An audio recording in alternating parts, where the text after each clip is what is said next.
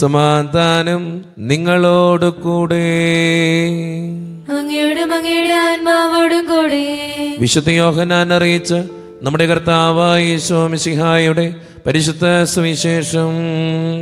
നമ്മുടെ കർത്താവായ മിശിഹായ്ക്ക് സ്തുതി. അധ്യായം മൂന്ന് ഇരുപത്തിരണ്ട് മുതലുള്ള തിരുവചനങ്ങൾ. ഇതിനുശേഷം യേശുവും ശിഷ്യന്മാരും യൂതയാ ദേശത്തേക്ക് പോയി. അവിടെ അവൻ അവരോടൊത്ത് താമസിച്ച് സ്നാനം നൽകി. സാലമിനടുത്തുള്ള ഏനോനിൽ വെള്ളം ധാരാളം ഉണ്ടായിരുന്നതിനാൽ അവിടെ യോഹന്നാനും സ്നാനം നൽകിയിരുന്നു. ആളുകൾ അവന്റെ അടുത്ത് വന്ന് സ്നാനം സ്വീകരിച്ചിരുന്നു. യോഹന്നാൻ ഇനിയും കാരാഗ്രഹത്തിൽ അടയ്ക്കപ്പെട്ടിരുന്നില്ല. അവന്റെ ശിഷ്യന്മാരും ഒരു യഹൂ- യഹൂദനും തമ്മിൽ ശുദ്ധീകരണത്തെപ്പറ്റി തർക്കമുണ്ടായി. അവർ യോഹനാനെ സമീപിച്ചു പറഞ്ഞു ഗുരു ജോർദാന്റെ അക്കരെ നിന്നോട് കൂടെ ഉണ്ടായിരുന്നവൻ നീ ആരെപ്പറ്റി സാക്ഷ്യപ്പെടുത്തിയോ അവൻ? ഇതാ ഇവിടെ സ്നാനം നൽകുന്നു. എല്ലാവരും അവന്റെ അടുത്തേക്ക് പോവുകയാണ്. യോഹനാൻ പ്രതിവചിച്ചു സ്വർഗത്തിൽ നിന്ന് നൽകപ്പെടുന്നില്ലെങ്കിൽ ആർക്കും ഒന്നും സ്വീകരിക്കാൻ സാധിക്കുകയില്ല. ഞാൻ ക്രിസ്തുവല്ല പ്രത്യുത അവന് മുമ്പേ ഐക്യപ്പെട്ടവനാണ് എന്ന് ഞാൻ പറഞ്ഞതിന്റെ നിങ്ങൾ തന്നെ സാക്ഷികളാണ്. മണവാട്ടിയുള്ളവനാണ് മണവാളൻ. അടുത്തുനിന്ന് മണവാളനെ ശ്രവിക്കുന്ന സ്നേഹിതൻ അവന്റെ സ്വരത്തിൽ വളരെ സന്തോഷിക്കുന്നു. അതുപോലെ എന്റെ ഈ സന്തോഷം ഇപ്പോൾ പൂർണമായിരിക്കുന്നു. അവൻ വളരുകയും ഞാൻ കുറയുകയും വേണം. ഉന്നതത്തിൽ നിന്ന് വരുന്നവൻ എല്ലാവർക്കും ഉപരിയാണ്. ഭൂമിയിൽ നിന്നുള്ളവൻ ഭൂമിയുടേതാണ്. അവൻ ഭൗമിക കാര്യങ്ങൾ സംസാരിക്കുകയും ചെയ്യുന്നു. നമ്മുടെ കർത്താവായ മിശിഹായ്ക്ക് സ്തുതി. നമുക്കെല്ലാവർക്കും ഇരിക്കാം. ഈശോയിൽ ഒത്തിരിയേറെ സ്നേഹമുള്ളവരെ ഇത് വായിച്ചു കേട്ട സുവിശേഷ ഏതുവാകാം? ആരുടെ സുവിശേഷ? ആരുടെ സുവിശേഷ? ഏ? ആ വിശുദ്ധ യോഗനാന്റെ സുവിശേഷം എത്രാം അധ്യായം? പ്രശ്നമാകും. എത്ര അധ്യായം? മൂന്നാം അധ്യായം. ഓക്കെ. ഇരുപത്തിരണ്ട് മുതൽ മുപ്പത് വരെയുള്ള തിരുവചനങ്ങളാണ് നമ്മൾ ഇന്ന് വായിച്ചു കേട്ടത്. ഞാൻ രണ്ട് മൂന്ന് ദിവസങ്ങൾക്ക് മുമ്പേ ഈ ബൈബിൾ ഭാഗം ഒന്ന് എടുത്ത് വായിക്കേണ്ടേ? ഞായറാഴ്ച വായിക്കണമല്ലോ. പെട്ടെന്ന് എന്റെ മനസ്സിലേക്ക് കടന്നു വന്നൊരു ചിന്തയുണ്ട്. ഈ സ്നാപക യോഹനാൻ നമ്മുടെയൊക്കെ ജീവിതത്തിൽ നമ്മൾ അനുവർത്തിക്കേണ്ട ഒരു ക്യാരക്ടറാണ്. പലപ്പോഴും നമുക്കതിന് പറ്റുന്നില്ല എന്നുള്ളതാണ് ഏറ്റവും വലിയ വസ്തുത. എനിക്ക് അത്ഭുതം തോന്നിയിട്ടുണ്ട് എന്തെന്നറിയോ ഒന്നാമനാകാൻ ആകേണ്ടവനായിരുന്നു ഈ സ്നാപക യോഹനാൻ പക്ഷേ ഈശോ വരുന്നുണ്ടെന്ന് കണ്ട് ഈശോയ്ക്ക് വേണ്ടി സ്വയം സ്ഥലം മാറിക്കൊടുത്തവനാണ് സ്നാപക യോഹനാൻ എനിക്ക് ഈ സുവിശേഷം വായിച്ച് കേട്ടപ്പോൾ മനസ്സിലേക്ക് കടന്നു വന്ന ഏറ്റവും വലിയ ചിന്ത ഇങ്ങനെയാണ്. തോൽക്കാൻ പഠിപ്പിച്ചവനാണ് സ്നാപക യവനാൻ. തോൽക്കാൻ പഠിപ്പിച്ചവൻ. ഇന്നത്തെ കാലഘട്ടത്തിൽ ഒന്നാമനാകണം എവിടെയും വിജയിക്കണം ഒന്നാമനായി തീരൂ എന്ന് വാശി പിടിക്കുന്ന ഒരു കാലഘട്ടത്തിലാണ്.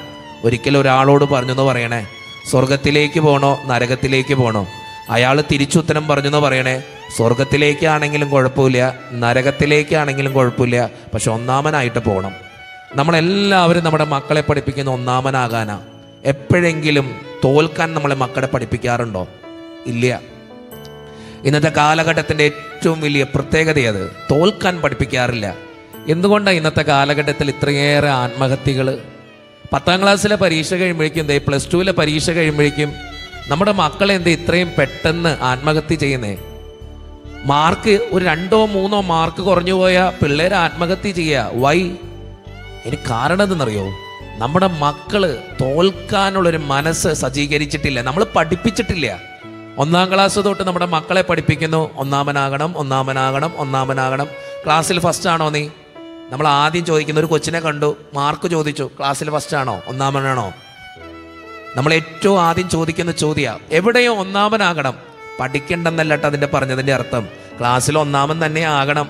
പക്ഷെ മാക്സിമം നന്നായിട്ട് പഠിക്കണം. അതൊക്കെയാണ് ഇവിടെ ഇരിക്കുന്ന കുട്ടികളോട് ഞാൻ പറയുന്നത് ഒന്നാമൻ ഒന്നാമനാകണ്ടെന്നല്ല അച്ഛൻ പറഞ്ഞതിന്റെ അർത്ഥം. ജീവിതത്തിൽ ഉണ്ടാകുന്ന തോൽവികളെ അക്സെപ്റ്റ് ചെയ്യാൻ പഠിക്കണമെന്നാ. ജീവിതത്തിൽ തോൽവികൾ ഉണ്ടാവും തോൽവി തോൽക്കാത്ത മനുഷ്യനൊന്നല്ല ആരും. ഒത്തിരി മനുഷ്യർ തോറ്റവരാ. ജീവിതത്തിൽ തോൽവികൾ ഉണ്ടാകുമ്പോൾ അക്സെപ്റ്റ് ചെയ്യാൻ പഠിപ്പിക്കാറുണ്ടോ നമ്മൾ ഇല്ല എന്നാണ് അതിന്റെ ഏറ്റവും വലിയ ഉത്തരം. നമ്മളെല്ലാവരോടും ഒന്നാമനാകാൻ പറയും തോൽവി ഉണ്ടാകുമ്പോൾ കുഴപ്പമില്ലടാ പോട്ടെ എന്ന് പറഞ്ഞാൽ പഠിപ്പിച്ചിട്ടുണ്ടോ? നമ്മുടെ മക്കൾക്ക് നമ്മൾ കൊടുക്കുന്ന ഏറ്റവും വലിയ സന്ദേശം തൊട്ടാ ക്ലാസ്സിൽ ഒന്നാമനാകണം വിഷയങ്ങളിൽ ഒന്നാമനാകണം എല്ലാത്തിലും ടോപ്പായിരിക്കണം എന്റെ കൊച്ചു തോക്കാൻ പാടില്ല തോക്കാൻ പാടില്ല അല്ലേ? ഒരിക്കലും അങ്ങനെ പഠിപ്പിക്കരുത്. എന്തുകൊണ്ട് ഇന്നത്തെ കാലഘട്ടത്തിൽ ഇത്രയേറെ പ്രശ്നങ്ങൾ തോൽക്കാൻ മനസ്സിലെ ആർക്കും വിവാഹ ജീവിതത്തിലെ ജീവിത പങ്കാളിയോട് തോൽക്കാൻ പറ്റില്ല അല്ലേ? അറിഞ്ഞൊന്ന് സോറി പറഞ്ഞാൽ തീരാവുന്ന പ്രശ്നങ്ങളുള്ളൂ പലപ്പോഴും. ഒരു സോറി. തെറ്റ് എന്റെ ഭാഗത്തല്ലെങ്കിലും മുമ്പിൽ നിൽക്കുന്ന വ്യക്തിയാണ് എന്റെ ജീവിത പങ്കാളി ഒരു തെറ്റ് ചെയ്യുമ്പോൾ ആ വ്യക്തിയോട് സോറിട്ടാ പറ്റിപ്പോയി. നിങ്ങൾ ആ മനുഷ്യന്റെ മുമ്പിൽ വിജയിക്കുക സത്യം പറഞ്ഞ അല്ലേ? ഞാൻ എപ്പോഴും പറയും എന്റെ ടോക്കിലൊക്കെ ഞാൻ പറയുന്ന ഒരു കാര്യമുണ്ട്. വിജ ജീവിതത്തിൽ സോറി പറയുന്നവൻ വിജയിക്കുക. അവൻ തോൽക്കുകയല്ല. നമ്മുടെ വിചാരം തൊട്ടാ സോറി പറഞ്ഞാൽ ഞാൻ തോറ്റുപോയി എന്നാ.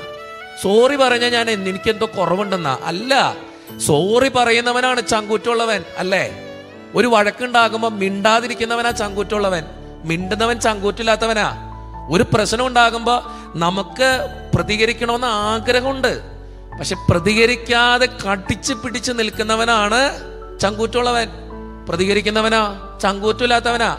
അവൻ പെട്ടെന്ന് പറയുന്നു കാര്യം കഴിഞ്ഞു. പക്ഷെ ജീവിതത്തിൽ ചിന്തിക്കേണ്ട കാര്യം എന്നറിയോ?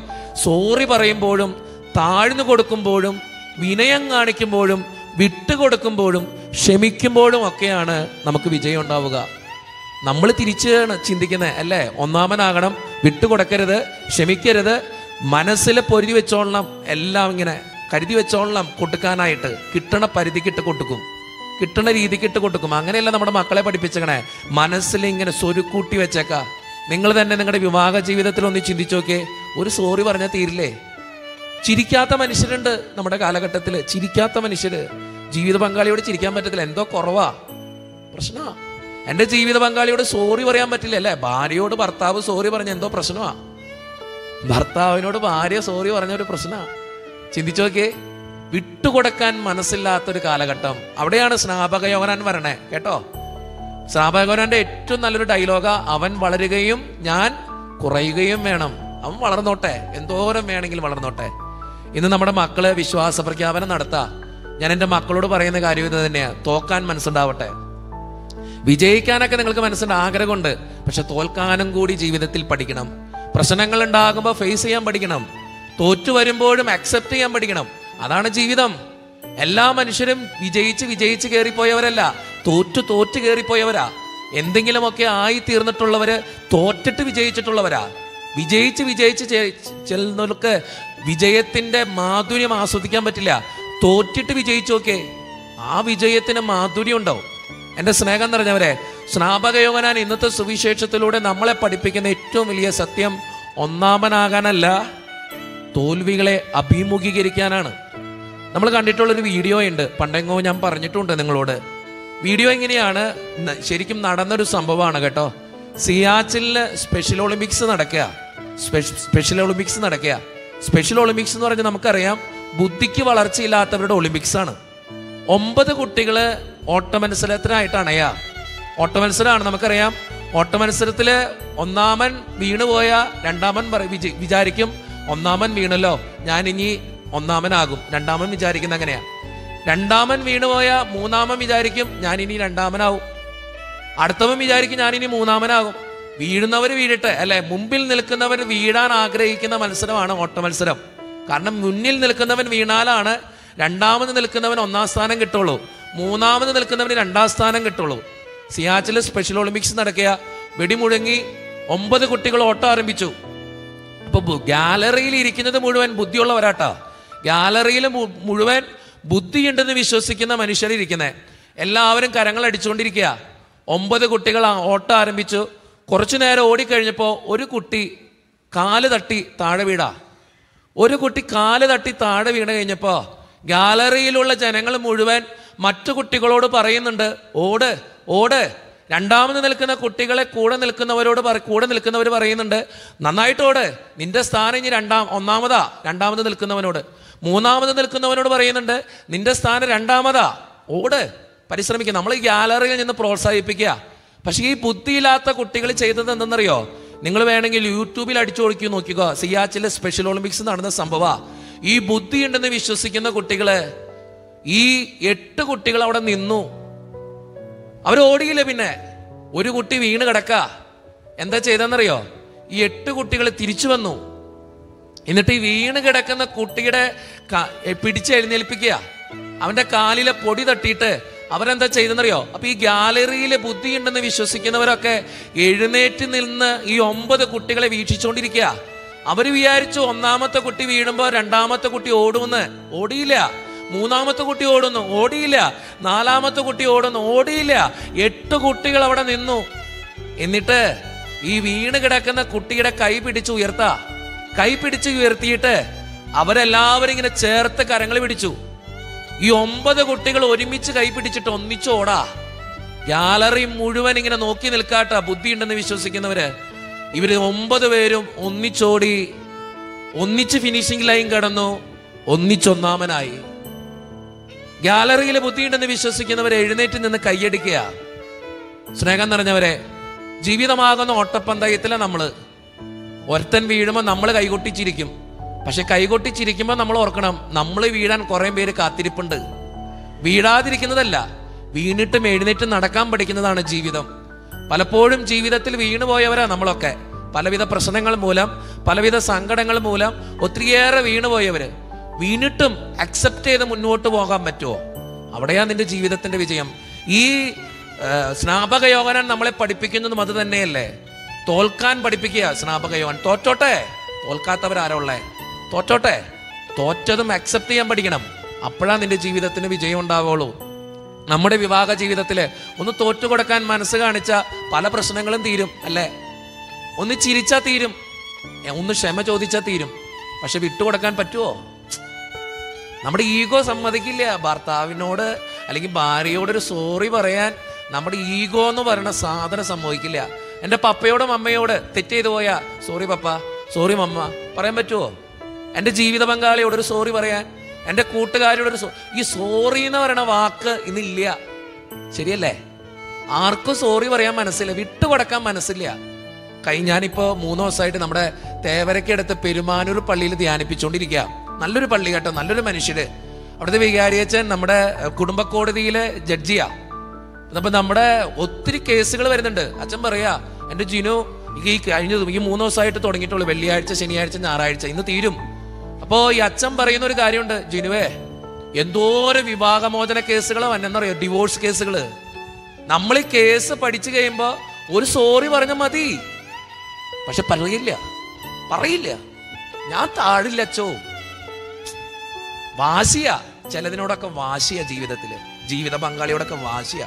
ചിലവരോടൊക്കെ വാശി പിടിച്ച് വാശി പിടിച്ച് വാശി പിടിച്ച് അവസാനം നമ്മൾ തന്നെ തീർന്നു പോകും. അതുകൊണ്ട് സ്നേഹം നിറഞ്ഞവരെ എനിക്ക് എന്താ നിങ്ങളോട് പറയാനുള്ളത് അറിയോ തോൽക്കുന്നതും ഒരു വിജയം തന്നെയാണ് ജീവിതത്തിൽ തോൽക്കുന്നതും ഒരു വിജയം തന്നെയാണ് പ്രശ്നങ്ങളെ അക്സെപ്റ്റ് ചെയ്യുന്നതും ഒരു വിജയം തന്നെയാണ് തോറ്റിട്ടും ചിരിക്കുന്നതും ഒരു വിജയം തന്നെയാണ് നമ്മുടെയൊക്കെ ജീവിതത്തിൽ നമ്മൾ പഠിച്ചെടുക്കേണ്ട ഏറ്റവും വലിയ പാഠത വിജയിക്കാൻ മാത്രമല്ല തോൽക്കാനും പഠിക്കണം. തോൽക്കാനും പഠിക്കണം. അപ്പോഴാ ജീവിതത്തിലെ പ്രശ്നങ്ങളെ അഭിമുഖീകരിക്കാൻ നമുക്ക് പറ്റുള്ളൂ. വിജയിച്ചവന് പ്രശ്നങ്ങളെ അഭിമുഖീകരിക്കാൻ അറിയില്ല. തോറ്റവനാ. ഏത് പ്രശ്നത്തെയും അഭിമുഖീകരിക്കാൻ അറിയുള്ളൂ അതുകൊണ്ട് സ്നേഹം നിറഞ്ഞവരെ ജീവിതത്തിൽ ഉണ്ടാകുന്ന പ്രശ്നങ്ങളെ അഭിമുഖീകരിക്കാൻ പഠിക്കാം.